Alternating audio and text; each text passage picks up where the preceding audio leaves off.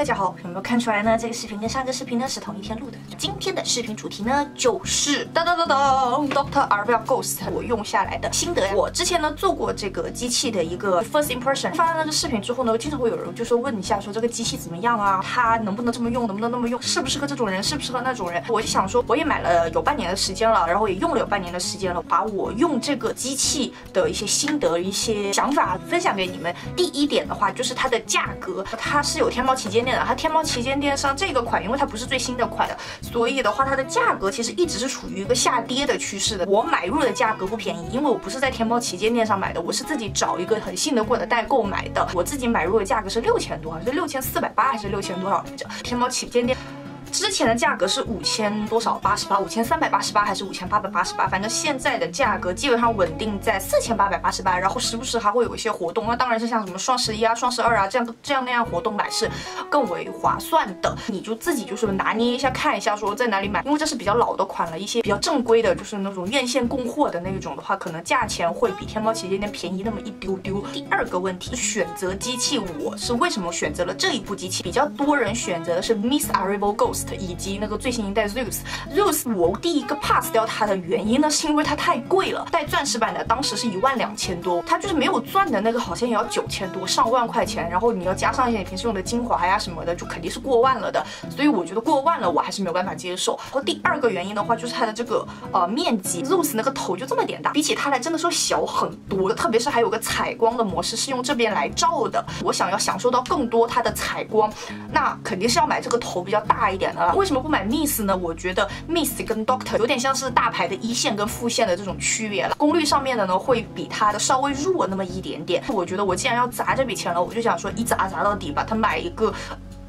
就是功率更大的，我自己感觉用起来的效果的话，应该也会更好。那说说它的优点，就是他们家的机器的优点了。然后就是一个属于比较高端的家用的仪器，它一部就可以囊括了很多部机器的功能。我虽然很爱用机器啊，但是我不是几十个机器在家里就是开博物馆一样的。但是我就想说贵一点就贵一点，一步到位买一个不错的机器，我可以用比较长的时间。买了这么久回来，我是没有懒下来用它，因为它在我的脸上是真的非常非常的有效果的。我再说说它的缺点吧，就是我自己用下来这么长一段时间，我觉得它的缺点呢，就是它有一个怎么说这个。M P 三的模式，我完全不知道它存在的意义。它是作作为一个家用的机器，难道我像是孤芳自赏存歌在这里面，然后按脸的时候摁开这个 M P 三，然后在这里，哎呀，我一边享受人生一边听歌吗？不会的，我一般都是一边看视频一边做的。而且这个它有采光的模式，不能对着眼睛，我一般是闭着眼睛撸脸的，所以它这个音乐对我来说完全没有效果。你不如把一个更方便的那个呃功率，就是一个功能把它提取出来。取缔掉这个 MP3 的模式，的确，它在 Zeus 的这部机器上面是做了这个改善的。它呢是呃把 MP3 这个功能给取缔掉了，然后在 MFIP 模式里面有个叫 EMS 的模式，把那个 EMS 的模式单独拎出来，就是取缔掉了 MP3 这个呃模式的。但是我觉得这一点不足以打动我掏钱包，所以我还是没有买那个 Zeus。我觉得既然 MFIP 模式里面涵盖了 EMS 的模式，我就没有必要就是说单单为了那一个 EMS 的模式去花多几千块钱。第二个被人诟病的就。就是它是个脱线的，我个人还好哎，我仪器我都没有什么很大的反感。仪器嘛，难道你是要边用仪器边去做家务吗？我觉得有没有线其实对我来说不是很大的问题，所以人家说它是缺点，我倒是没有觉得它是个很大的缺点。那第三的话，人家说它大，但是其实它是有用的，它这么大，它比 Miss Ariel Ghost 要大，但是呢，Miss Ariel Ghost 呢是只能做脸的，这个可以做身体，但是。我从来没有拿它做过身，就会有很多人想问说适不适合。如果你有什么做牙呀，然后脸部的一些就医美类的东西的话呢，还是要就是遵下医嘱，就是问医生比较好，就比问我要专业。我又不是医生，是吧？他是说要取掉所有的金属配饰的吧？我有好几次没有拆耳环，你知道我之前耳朵上三个耳环，我是不拆的，我就洗澡也戴着，睡觉也戴着，就有时候就会忘了拆那个耳环来用机器，真的会感觉到就是。不知道怎么说，就感觉被电到里面了，很难受的那种感觉。但是拆掉了耳环做呢是没有问题的，所以我的个人建议就是，如果你们是有戴首饰的话，最好是要把首饰给拆掉。然后还有就是我买这个仪器的初衷的话，我并不是说什么要喷苹果肌啊之类的，我主要是做脸部的提拉。因为我之前在上一个视频，就是上个讲这个仪器的视频里面也说过，我当时买这个的原因，就是因为我感觉我脸垮了，就这边的脸用了一段时间，经我自己心里经自己心理反应以及别人反馈呢，是这个机器是真的有用的。所以如果你觉得脸部有一些垮，然后你想要提拉的话呢，这部机器是一个非常非常好的选择。其他部分你问我说有没有看到很很惊为天人的效果，可能我自己也也没有那么注意吧。就因为我的我对它的期望就是它它有个提拉的效果，的确提拉的效果是非常好。那有的人呢会问像什么 Tripod 啊、New 啊那种射频类的仪器，跟它去选哪个好？这个是完全不同的两种仪器。这个仪器它主要是那个电流做提拉的，像那个 Tripod 呢，它是给你的那个胶原蛋白增生的。也不是增生吧，听着好怪啊，就是就是增加你的那个胶原蛋白的，所以这两个本质上是不同的东西，是不可以相比较的。像 Tripod 那种射频类的仪器呢，它是通过增温让你的脸部就是自己产生那个叫什么来着胶原蛋白，但它的主要是提拉。我说它能不能去纹路，就能不能去法令纹，去这个纹路，去那个纹路，我只能说。正常的一个皱纹，它一旦形成了是没有办法去掉的，你只能改善的。你要做的就是预防这个呃纹路产生。它的模式的话会有很多，U P 模式就是 Ultra Pose，就好像这个四个点这样子揪着你的脸提拉上去的这种感觉。它有四档，像很多人说耐受性没有那么强或者觉得很电的话呢，可能开一档、二档，然后或者说稍微就是耐受一点的就三档、四档。我是一上手就开了四档，我没有觉得有什么很大的问题。然后 M F I P 这个模式呢也是四个档位，那它的话呢就是有点。像这样子，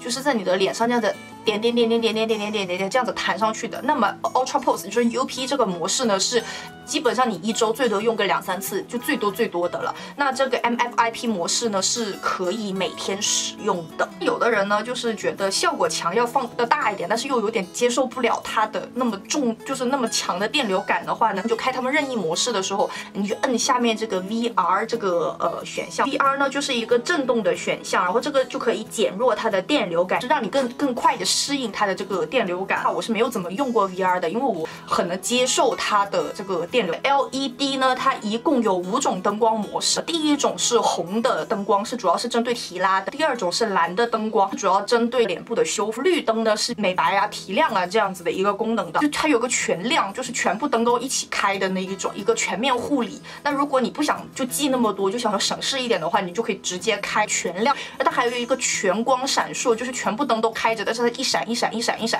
那个是促进吸收的。那我平时用的比较多的呢，就是红灯和绿灯。会用完这个灯光之后呢，我会用那个闪光的，就是让脸上的精华吸收进去。做这个机器的频率的话是差不多一周做五次，两次是做 U P 模式，然后其他三次是做那个呃 M F I P 的模式。灯光的选择的话，看重就是当下的皮肤状态。有的人就经常会问我搭配什么精华，或者说呃用什么东西可不可以替代关。官方的声称是它不可以配呃其他的精华，但是本质上的话，我是不相信说只能用他们家的东西。那么我个人的话，用的都是自己配的东西，我用下来效果一样还是这么明显。现在常用的东西呢，第一个就是喷雾，因为你不能让脸上的精华干掉。一个呢，这个你不要看它是资生堂的瓶子，我里面灌的是紫苏水，因为它的喷头喷出来很细，所以我就灌在这里面了。它比较的清爽。我平时用的最多最多的呢是这个呃 La Prairie 的蓝水，我是拿那个 Muji 的瓶子装。在里面的代购，它是做演示的时候，它是用的 La Prairie 的蓝水，所以比较保湿，就真的是脸会做完之后会比较的滋润。另外一个呢是这个呃 La Prairie 的粉水，我装在那个名创优品的这个。这个这个瓶子，这瓶子很垃圾，你们不要去买，真的很垃圾。它喷出来都是喷枪，真的很难用。La Prairie 的粉水呢，它用起来它的味道没那么好闻，但是它会更滋润，更有一定的一定的啊，我不是说它是完全是做美白，它有一定提亮美白的那种呃效果。要去买一个专门的喷雾，没有什么必要。最常用喷雾就是这三个。卖给我机器的那个代购呢，他自己也有几个就是很推荐的组合，就看你的重点是什么。我当时买的时候，我跟他讲了，我说我主要是感觉脸垮了，我要做提拉。然后他给我呃推荐的就是这个，这个就是 Laneige 日本医院的一个那种医美品牌，叫做来呃来乃康还是什么的，他们家的那个呃胎盘胶囊还是蛮出名的，就什么马胎盘、猪胎盘什么胎盘都有。然后这个是他们的胎胎盘原液，就是主要是他跟我说是针对提拉的。我感觉我其他配的精华的话，在提拉方面好像没有那么强。哎，对了，P.S. 你们有没有人吃过他们那个胶囊？我真的很想吃哎。前阵子我的 YouTube 给我推送的一个香港的博主，就是讲他手上的射频仪器 RF 射频仪器，他有推荐一个就是呃射频仪器的替代胶，一个香港产的牌子叫做彩丰行，他们就在院线里面做热玛吉都会用到的，非常便宜。这两个呃一起买，然后加上运费也就才一百多块钱。它这一款的话呢是维他命 B 五的一款呃凝胶，然后这一个呢叫什么 MC Two 祛斑导电啫喱。呃，我一般的话会用这一款，就是维他命 B 五的比较多，因为它是呃比较保湿，它配合这个仪器，这个还是蛮好用的。呃，如果你想用芦荟胶的话呢，可能比较容易干掉，就没有那么好。它就是这种透明的啫喱质地，它又不会像那种呃射频仪器的那么粘稠，它干掉的速度又很慢，它导电的效果又很好，它用在我这个电流的仪器上是完全没有问题的。像它这个祛斑精华的话，我一般是用在那种比较偏美白向的，因为祛斑的多少都会有一点点的那种美白方面的疗效。这三瓶都是迪奥的，然后是那个什么呃 Capture Use 系列，然后这个是 Live Sculptor，它是有一定的提拉的功效。那我用的最多的呢是 Glow Booster 这一款。那这一款的话呢，它是让你的脸比较光泽，就是焕发光泽，就比较呃亮一些，就是提亮的那种感觉。我没有感觉脸垮的话，我其实比较注重的还是就是让脸看着比较提亮、比较明亮一点。第三个呢 p u m p Filler，然后这一款的话呢，就是让你的脸稍微的嘭起来，就比较烹饪一点的那种。这三个精华的话呢，第一就是价格不算特别贵啊，三个加起来就两千多港币的样子吧。在精华范范畴的话，它的价格比较便宜，用在机器上，个人用下来它的效果还是蛮强的。基本上呃一一小块脸用一泵就可以了。美白方面的话呢，我就会平时用我自己最爱用的美白精华，就是这个呃 SK two 的小灯泡。如果我是要开那个美白灯，就是那个 LED 开那个绿灯的模式的话呢，我会开它。那有时候我因为它会比较干，它这个美白精华是会比较干，我一般呢是会加上这个哈巴的呃 Whitening Squalane 的这款油，它用完的话脸真的很亮白。像刚刚那个嗯 SK two 的话是去黄，那如果你想要比较强劲的美白的效果的话，你可以搭这个 Multi Derm 这个牌子的两款比较偏美白的吧，一个是 Skin Complexion，还有一个是 Photo Age，差不多就三分之一的这一个 Skin Complexion 加上三分之一的 Photo Age，然后挤在一起放一边的脸，然后照那个灯照到它差不多吸收了之后呢，就再挤三分之一放在另外一边脸，然后这额头它的那个美白提亮的效果会比呃 SK two 加上那个哈巴的油要更加的明显。如果你的脸是没有那么耐受的话呢，可能会有点红红的，会就像 SK two 配那个哈巴的油是稍微温和一点，然后这个是更强效，但是会更为的刺激一点。它本身就是这种浓缩的安瓶精华，它本身的效果就比。正常的美容的美白的那种精华要强劲很多，然后你再配合仪器吸收的话，它其实是会更为的强劲的。最后一个精华，但是我也不是每一次都会用的呢，就是这个 Clarins 的小绿瓶，就是 Booster Detox 这一款的话，是我自己个人比较合用嘛，就是喝酒啊，然后抽烟啊，都会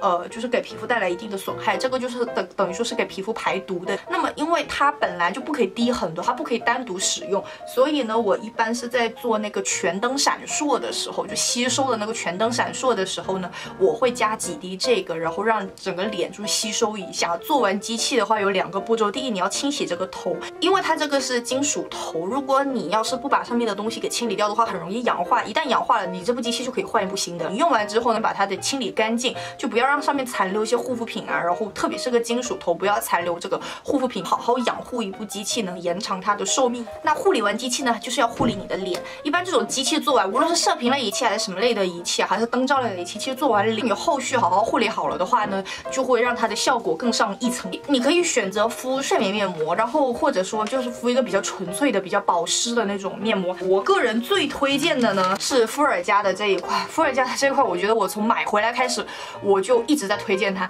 因为它的呃。成分就比较简短，它的效果就只是一个补水的面膜。我就是每次做完仪器的时候用，像很多仪器，什么点阵机啊、射频仪啊，还有这个我刚刚说的这个电流的机器，其实你呃就是弄完之后，你敷一个比较纯粹的补水的。我是比较推荐那种成分很简单的面膜，在你做完机器之后使用。那这个机器做完的话，当晚其实你就可以感觉到皮肤非常的滑。小蛮的话之前就说他用那个 Miss Arrival Ghost，你用完之后脸脸上苍蝇蝇会打滑，就在脸脸上爬的话，苍蝇都会打滑，这听起来怪怪的啊，就是那种恶心美感。但是呢，它的确是你你摸，就是你在做机器之前摸和你做机器之后，就敷完面膜之后再摸，那个脸的那个滑的程度真的是有非常非常大的呃差别。最后我来总结一下，这个仪器呢，它适合什么样的人？就是你要很清楚的知道自己面对的是什么皮肤问题，或者说你。很清楚的知道你想要脸达到一个什么样的效果。如果你是说要什么去纹路的话，说实话，这个仪器不适合你，因为它比较厉害的还是作为提拉的这么一个呃产品。第二的话，我觉得如果你不是很清楚自己要什么的话呢，你买任何仪器都只是浪费钱。然后第三，你要坚持做仪器，任何的仪器，贵的也好，便宜的也好，你一定要长期做，它才会有效果的。我买来到现在为止半年了，我觉得这笔钱呢还是很，你要我说它死得其所。吧，它是死的其所，但是我不能说它的性价比很高，它真的是部非常贵的仪器。我一直很信奉的一点，机会都是给准备好钱的人。我还是觉得这部机器是很值得投资的一部机器。今天的视频就这样啦，希望呢这个视频能够帮助到你们，让让你们做到一点关于这个呃仪器的功课。下个视频再见，拜拜。